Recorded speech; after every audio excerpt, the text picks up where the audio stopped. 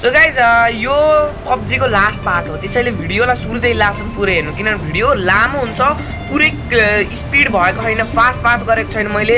किनभने पब्जीको last part हो धेरै ध्यान दिएर हेर्नु होला होइन? र पब्जीको लास्ट पार्ट हो ध्यान दिएर हेर्नु म यति भन्छु र लास्टमा म मोरे मर्छु म अहिले भनिदिन्छु। मर्छु तर कसरी मर्छु तपाईँ आफै हेर्नु।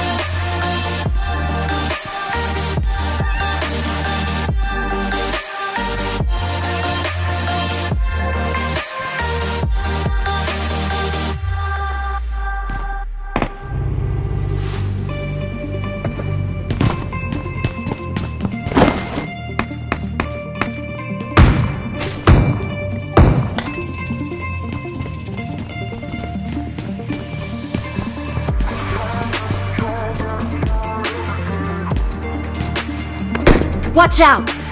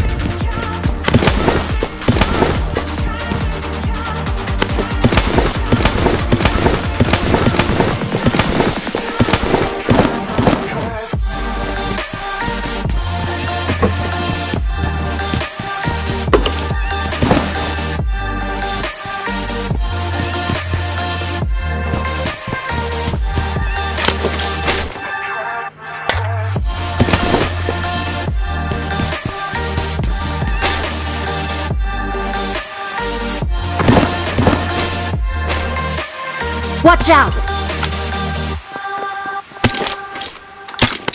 Enemies ahead!